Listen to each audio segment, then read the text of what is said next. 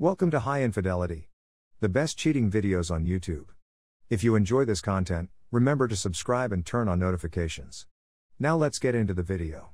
I 40 female, cheated on my husband, 42 male of 14 years a few months ago. I am sorry for what I did, but I have no idea what he thinks, and he won't speak to me. I'm well aware that I'm the bad guy from the get go, and I get that, but allow me to clarify the situation. I love my husband, People will tell you that I don't because of what I've done, but I really believe it to be true. It was a mistake on my part. I had a brief romance with a mutual friend that lasted just a few weeks. It wasn't even a month before my husband came home from work for his lunch break and realized what had happened to us. Because he's never done it before, I'm thinking he was a little skeptical. Despite the fact that we weren't doing anything, we were in bed together so that he could figure it out. I recognize that what I did was wrong, and I recognize how much misery I caused my husband as well. Not even the most heartfelt apology could make up for my sorrow.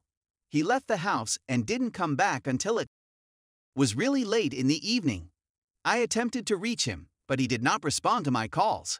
The next morning, I saw his side of the bed was occupied, but he had gotten out of bed before me. I discovered him in the kitchen and attempted to apologize, but he refused. Instead, he just inquired as to how long I'd been with Isaac, our friend, and a flood of additional inquiries as to when, how it started, and so on and so forth. As soon as he finished, he walked away, saying, Enough. I'm not sure where he went that day, but he returned late that night to tell me about it. Isaac was the last person I saw for a long time. After then, he never brought up the subject of the affair again. Immediately after the dispute, he started acting in a cold and distant way, which is typical of most individuals. He was not loving, nice, angry, or passionate in any way. He only communicated with me when it was absolutely necessary to do so. We were less than a month away from our anniversary, so I figured. He was waiting for that day to arrive before proceeding with the divorce proceedings. Despite my efforts, the anniversary passed without incident, and he treated me to an uncomfortable supper which was the end of it. After seven months, he hasn't said anything about how he came across us or what he did to us. Occasionally, I bring it up in order to address it and have closure, but he always shuts me down and remains depressed for the rest of the day.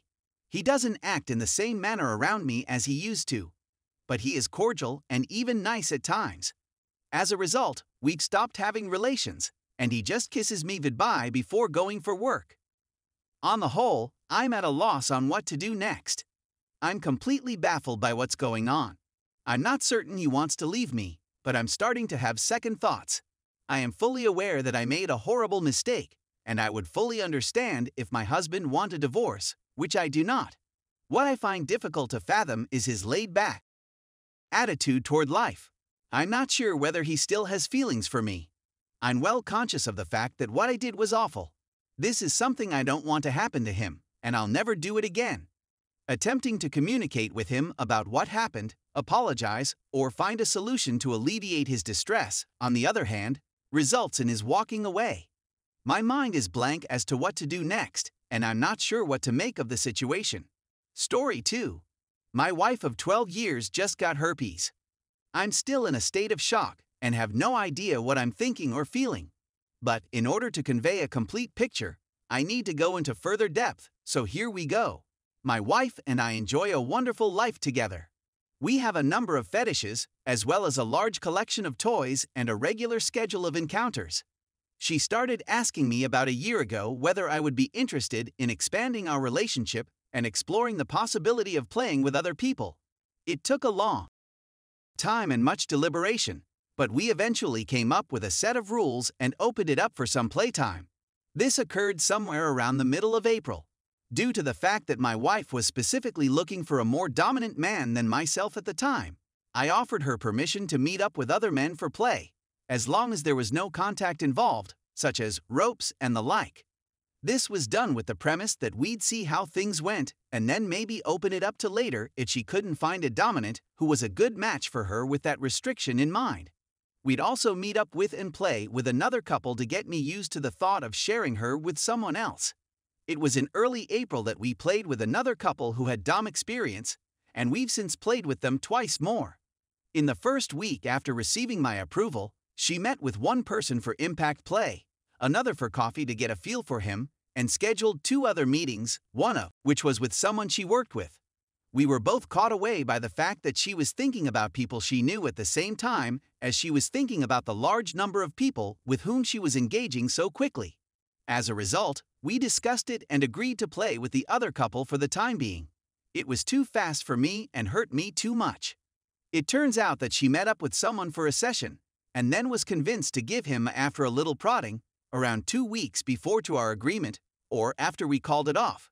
She doesn't recall exactly when, just that she realized it was a horrible situation. She was devastated and didn't meet with anybody again after that. She also deleted all of her online information from the dating websites she was using, and she chose not to tell me about her experience. When she went to the doctor last week, she was asked whether she had participated in activity with anybody other than her husband, and she was then exposed to an STD test as a result of the inquiry. She discovered yesterday that she had herpes types 1 and 2 and that she had been infected with them. Because we were babysitting, she didn't tell me until after work tonight that she was pregnant. I'm still reeling from the experience and have no clue what I want to do with my life at this moment. She was distressed and apologetic. She had been suffering from a severe cold for many months and was in tears as a result of it. While I have promised her that I would not forsake her for a and I do not believe that I would do so, I am apprehensive that I may get unhappy in the future, thinking that she may betray my trust in her once again. I was quite disappointed in her, despite the fact that I know she still loves me, and that this was not about her falling in love with someone else or anything like that, since it was a significant breach of trust on her behalf. I'm not sure where I should turn for assistance with this. That health problems that my wife was experiencing forced us to relocate across the nation some years ago. My wife and I are both keen gamers who tend to be more reclusive when we are out in nature. Even though I've always had a huge number of friends, I haven't developed any close enough acquaintances in this nation with whom I would feel comfortable discussing this. For the same reason that my friends who I haven't talked to in a long time have become distant and have ignored my previous attempts to reconnect with them, I will not be phoning any of my friends in the near future. Aside from that, I don't want to contact my brothers and sisters because I don't want them to find out that my wife was having an extramarital affair with another guy while I was gone. So, yeah, I'm having a horrible day, and I'm not sure what to do about it, if anything at all, to make it better. Neither of us had any expectation that she would be unfaithful to me, and when we spoke about seeing other people, STD were the major source of concern for us both. I want to schedule my own exams as soon as I get the chance. We reside in the same home as each other, but we do not have children. For the time being, the only thing that I can manage to think about is all of the what ifs that may occur in the future. What is the value of living with the continual fear of contracting herpes if I do not have it at the moment? Is it feasible for me to continue to put my faith in her in the foreseeable future? I still care for her, and I'm certain that we'll be able to work through this, but I'm sorry about the situation. Without making this message any longer, this is probably all that is necessary to say, but I felt compelled to voice my ideas anyway.